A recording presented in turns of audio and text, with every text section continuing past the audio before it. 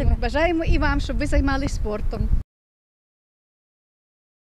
Ми там в гідропарку тренуємося в Житомирі.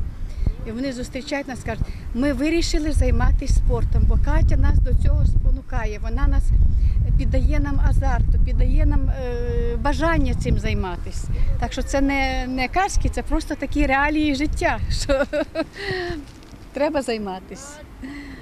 Що її там ідеалізувати, що вона там прямо вже вона звичайна дитина, звичайна, така, як і всі. Але коли люди бачать, як вона біжить у лісі, коли люди бачать у лісі, і коли ми збирали кошти, спонсори ж нам збирали кошти на проїзд. От, коли люди бачать, як вона, вони кажуть, ми знаємо цю дитину, ми знаємо, як вона тренується, тому вони з, великою радістю допомогли нам у цьому. І це був якраз наш такий козир, що вони її знають.